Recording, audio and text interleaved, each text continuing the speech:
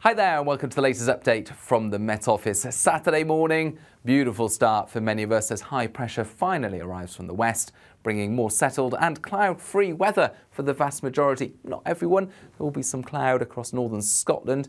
Eastern England also affected by patchy cloud coming in from the North Sea and a continued cool breeze. And after the sunny but chilly start, for many of us, the cloud will tend to build, more especially for parts of Wales into northern and central England and for northern Scotland, the cloud increasingly thick and low to bring some light outbreaks of rain by the afternoon. One or two showers coming in from the North Sea, but those are the exceptions. I think for many it's going to stay dry and bright. The best of the sunshine remaining across Northern Ireland, West Wales, the southwest. That's where the highest temperatures will be 13 to 15 Celsius and with light winds feeling very pleasant. Not so pleasant along the North Sea coast, 10 Celsius with a cool breeze. But with high pressure in charge, it is largely settled across the UK for once. Having said that, a weak weather front will dangle its influence into the north and increasingly the east of Scotland overnight to bring outbreaks of light and persistent drizzly rain. Now, lower cloud here as well will bring some mist and grottiness to eastern Scotland around the coast, northeast England as well, and the rain by dawn into the North Midlands.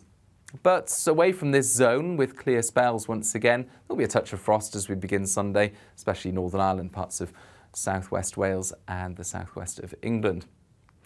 So a bright start in the west under high pressure, but this weak weather front will bring a stark contrast in conditions, both compared with the west and compared with what many places experience during the day today.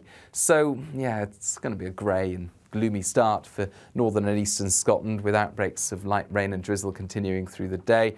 That area of light rain pushing through northern England into parts of the Midlands could reach parts of central southern England for a time during the morning before it edges into Wales later.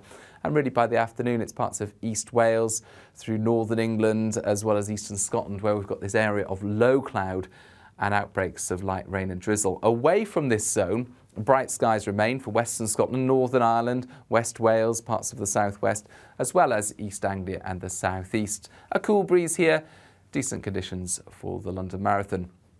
10 or 11 Celsius in the east, and I'd say 10 Celsius where we've got the drizzle and low cloud will feel very different to the 16 Celsius or 17 in Northern Ireland where we've got the light winds and sunny spells. And we've got similar conditions continuing into the start of next week. High pressure nearby, so nothing particularly unsettled, but weak weather fronts will bring areas of cloud and outbreaks of light to moderate rain at times.